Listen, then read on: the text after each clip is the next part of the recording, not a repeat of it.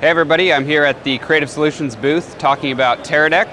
Um, today we announced the uh, Teradek uh, Serv Micro.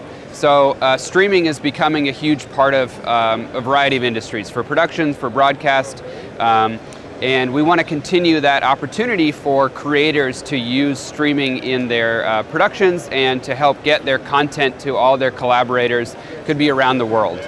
Um, and so the Serv Micro is going to do that for um, independent content creators, for you know people that have smaller budgets or have cameras with HDMI only. Um, the Serv Micro connects to uh, our Vuer app, so you can stream content uh, live on set uh, with no internet, or you can connect to internet and you can use our core platform to stream content live uh, to anyone in the world. And so you can get your producers watching what you're shooting, you can record, uh, send recordings to them remotely as well. Um, and so this is the encoding device that allows you to do it. It's uh, HD um, and HDMI only.